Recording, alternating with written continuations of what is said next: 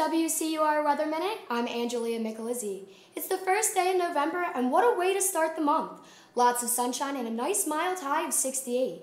And as we'll see in the future forecast, more nice weather is on the way. Now here's your exclusive 917 forecast from 917 FM. Tonight at 9, we'll have clear skies and 58 degrees. By 1 a.m., we drop down a few degrees to 55. Then at 7 a.m., we'll start the day with a bit of fog and 51 degrees. In the future forecast, Wednesday will start off foggy before turning into a nice and warm, partly sunny day. Just look at that high, 69 degrees for the second day of November.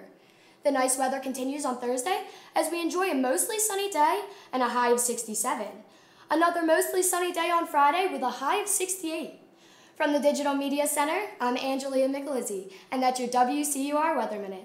Enjoy the nice weather, West Chester, and let's go Phillies!